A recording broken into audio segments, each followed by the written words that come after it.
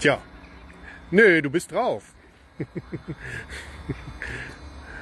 Wir machen jetzt hier nämlich, äh, oder haben schon gemacht, ein Video für... Willst du noch mal den Kanal sagen? Du bist, du bist jetzt live. Ja. Äh, wir machen das für die mit den Pferden. Das ist das Reitsportformat vom WDR. Gehört zur Sportschau. Und da geht es jetzt um das Thema Pferdemist und Verwertung. Ne? Pferdemist, Verwertung, auch was man an Pferdeäpfeln über die Gesundheit eines Pferdes äh, herausfinden kann. Okay, also ich sage euch Bescheid, wenn das äh, live kommt, äh, beziehungsweise nicht, nicht live, ich bin live, aber wenn das äh, übertragen wird, beziehungsweise wenn der Film fertig ist. Ähm, Lisa Kestel kennt ihr ja alle und schönen Gruß, liebe Lisa. Und äh, hier haben wir jetzt gezeigt, was mit dem Pferdemist passiert. Wir haben die Erlaubnis hier heute zu filmen und dementsprechend äh, nutze ich auch die Gelegenheit, weil es angemeldet ist. Ansonsten würde ich jetzt hier nicht filmen. Aber ich weiß gar nicht, ob es überhaupt funktioniert, weil ich keine Reaktion von euch sehe. Ganz komisch. Vielleicht klappt es ja gar nicht. Also Andreas hängt jetzt nochmal die Schaufel dran.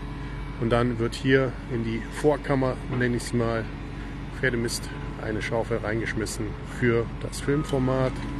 Wir sind hier bei der Rheinenergie auf der Anlage und äh, es geht wie gesagt um die Verwertung oder Verwendung von Pferdemist, was man damit machen kann. Und ähm, ja, ich bin eben mit einem Container, mit einem frischen Container Pferdemist gekommen. Den haben wir dann abgekippt, das wurde dann auch gefilmt. Und äh, ja, also für die Leute, die sich fragen, was macht der Wippi eigentlich die ganze Zeit, kommen so wenig Live-Videos. Ähm, das hier ist eigentlich der Grund, weil wir uns hier in die Biogasanlage richtig einarbeiten, dafür viel Zeit verwenden, auch um uns wirklich mit den Details vertraut zu machen, weil wir jetzt die Anlage im Lohn betreiben für die Rheinenergie. Ähm, eventuell ergibt sich da noch was anderes draus, aber mehr dazu kommt noch. Und hier auf der Anlage wird also Strom erzeugt, wenn er gebraucht wird, das heißt ferngesteuert. Morgens laufen hier zwei Motoren, abends zwei Motoren. Und zwar dann, wenn der Strommarkt Bedarf hat.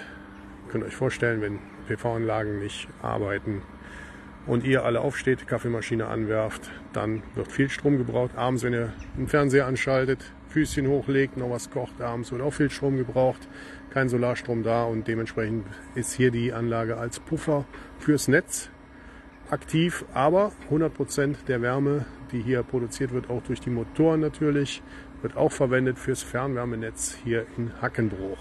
Also eine Anlage, die von A bis Z Sinn macht und äh, ich nicht verstehen kann, warum solche Biogasanlagen nicht benutzt werden, um das fehlende Gas aus Russland mehr mit als Alternative zu benutzen und vor allem für die Zeit, wo Solarstrom und äh, Windenergie nicht da ist. Das äh, ist absolut möglich. Man könnte 12 Gigawatt sind es, glaube ich, ich muss immer aufpassen mit der Bezeichnung, 12 Gigawatt mit den bestehenden Biogasanlagen erzeugen für die Dunkelflaute. 10 werden eigentlich nur benötigt, aber dafür möchte Robert Habeck eben andere Kraftwerke bauen. Ich kann es nicht verstehen. Aus dem Biogas, hier aus dem Methan, kann man tatsächlich auch Erdgas ähm, produzieren. Und zwar muss das dann noch aufbereitet werden, damit 98 Prozent, glaube ich, sind es Methan drin sind im Gas. Und dann könnte man das Erdgasnetz damit sogar befüllen. So, und jetzt für die Kamera hier. Ich will gar nicht ins Bild rennen. Wird jetzt einmal hier Pferdemist in den Behälter reingeschmissen der Behälter wurde zu wenig. Der Behälter wurde heute Morgen schon gefüttert, also hier ist genug Menge drin in beiden Behältern und äh, ist jetzt nur für die Kameraaufnahme. Vielen Dank an die Rheinenergie, dass wir das filmen dürfen. Also hier wird kombiniert Pferdemist mit Mais reingeschmissen und äh, in einem bestimmten Verhältnis, was uns vorgegeben wird. Und dann wird daraus Energie produziert. Und damit verabschiede ich mich auch, weil ich jetzt noch was vorhab. Und ich mache jetzt mal hier die Klappen zu und dann geht es weiter mit dem kleinen Schwarzen Richtung Heimat. Also ich halte euch auf dem Laufenden, wenn das ähm, hier ausgestrahlt wird. Ähm, eine, ein Pferd produziert im Prinzip mit dem Pferdemist, den ein Pferd pro Monat produziert, so viel Energie, wenn sie hier rausgeholt wird, dass man mit dem E-Auto hier zum Beispiel ungefähr 750 Kilometer weit fahren kann. Ja? Also ein Pferd produziert allein durch den Pferdemist so viel Energie, wenn man sie hier jetzt durch das Verfahren herausholen würde aus dem Pferdemist, damit ein E-Auto 750 Kilometer fahren kann.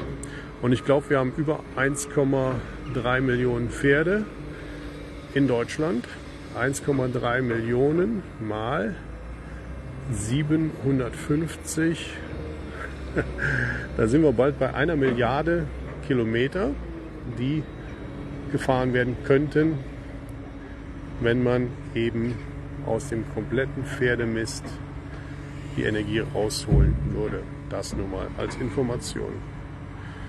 Ähm, was mit dem Pferdemist nach der Energiegewinnung gemacht wird, ähm, da wird ein Substrat draus, äh, bleibt übrig. Da ist dann die Energie raus und das geht dann wieder in den Kreislauf. Das heißt, die Pferdeweiden bei uns werden damit dann wieder gedüngt. Die Felder werden damit gedüngt. Bei den Berufskollegen auch alle Felder, wo jetzt Rüben hinkommen. Es ist relativ geruchlos und ähm, man kann es auch abpressen, ein trockenes Substrat produzieren und äh, dann auch wieder auf die Felder bringen. Also kompletter ähm, Kreislauf ist möglich und damit ist man auch völlig klimaneutral, weil das äh, CO2, was jetzt zwar auch bei den Motoren ähm, produziert wird durch die Verbrennung, aber vorher gebunden wurde. Und das, was nachher an Trockensubstrat übrig bleibt, ich kann euch das jetzt leider nicht zeigen, weil hier keins ist, ähm, das wird nachher in den Boden eingebracht und damit auch wieder Kohlenstoff gebunden. Und äh, ich verstehe nicht, warum, und die Frage habe ich jetzt öfters gestellt, die letzte Zeit, warum wir nicht mehr in die Schiene wieder gehen. Herr Habeck und äh, Frau Mona Neubauer hat ja in einem Video vom WDR gesagt in dem Beitrag, dass man nicht möchte, dass noch mehr Mais angebaut wird. Dem widerspricht aber der Vorsitzende der Biogasanlagen ähm, Vereinigung oder wie es heißt, ich habe keine Ahnung, und sagt, nein, wir brauchen nicht mehr Mais, wir äh, brauchen nicht mehr Energiepflanzen anbauen, das reicht, was wir haben, um eben dieser Dunkelflaute entgegenwirken zu können. Und ich denke, das hier, das System kann man auf jeden Fall noch weiter vorantreiben. Man sieht hier die Verrottungsstufen. Der Mist ist relativ frisch. Der ist schon was älter. Und jetzt zeige ich euch den Mist, der auch geschreddert wurde, weil das natürlich hier gerade ein Versuch ist. Der Mist hier wurde geschreddert, ähm, nochmal zerkleinert und zersetzt. Aber das hier geht auch schon durch die Schnecken durch, weil die Anlage hier ist nicht auf Pferdemist ausgelegt gewesen. Das ist jetzt der Versuch hier, den wir seit über einem Jahr mitgehen. Und man möchte die Pferdemistmenge auf jeden Fall steigern und das in Kombination mit Mais. Und das funktioniert. Also, in dem Sinne, Pferdemist, ähm, wenn man den Energiegehalt von Mais zu Pferdemist vergleicht, ich gehe mal ein Stück mit euch weiter, dann kann man ungefähr sagen, eine Tonne Mais entsprechen ungefähr zweieinhalb Tonnen Pferdemist und das hat dann den gleichen Energiegehalt. Hier den Mist habe ich gerade gekippt, der wird nachher noch rübergeschoben. Hinten ist der Mais, das heißt, eine Schaufel Mais hat so viel Energie wie, na das stimmt nicht, weil da gehe ich jetzt vom Volumen aus, ich gehe ja vom Gewicht aus, also eine Tonne Mais hat so viel Energie wie ungefähr zweieinhalb Tonnen Pferdemist. Kommt immer drauf an, in welchem Zustand. Der hier wird noch richtig heiß. Der hier wird jetzt nicht mehr so heiß. Und wenn was heiß wird, das heißt die Bakterien zersetzen den Mist, dann ist auf jeden Fall noch viel Energie drin. Je älter der Mist nachher ist, desto weniger Energie ist drin. Deshalb sollte man eigentlich den frischen Pferdemist verarbeiten. Ja, so viel dazu. Ich verabschiede mich von euch und äh, nochmal danke an die Rheinenergie. Das war eine ganz schnelle Nummer eben. Äh, der Anruf kam. Ich habe gesagt, klar, können wir hier zeigen, was wir mit unserem Pferdemist machen. Da war nämlich gar nicht klar, dass wir da Strom draus machen und Wärmeenergie. Und äh, dann sind wir innerhalb von zwei Stunden hierhin und haben jetzt gedreht. In dem Sinne macht's gut. Wir hören und sehen uns. Weiter geht's Es ist leider wieder Regen gemeldet. Wir wollten eigentlich ja am liebsten jetzt mit der Feldarbeit auch starten, aber das können wir leider vergessen. Also, macht's gut. Bis dann. Tschüss.